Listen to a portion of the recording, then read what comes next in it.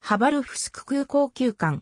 1997年3月ハバロフスク空港は、ロシア極東連邦管区ハバロフスク地方ハバロフスクにある空港である。国際民間航空機関には、ノービエアポートの名で登録されている。このほか、ハバロフスク新空港の名で呼ばれることもある。極東地域への玄関口として機能し、この地域の他の空港と比較して、天候も安定している点から、通年離着陸できる空港として発展した。運営は、ハバロフスク空港株式会社が行っている。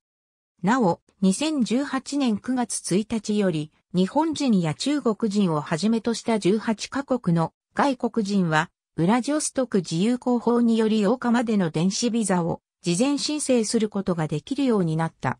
1954年3月にハバルフスク空港開業。1973年に新潟空港と結ぶ路線が開設され、数少ない極東地区の西側からの玄関口として発展した。1993年新空港ターミナルビル完成。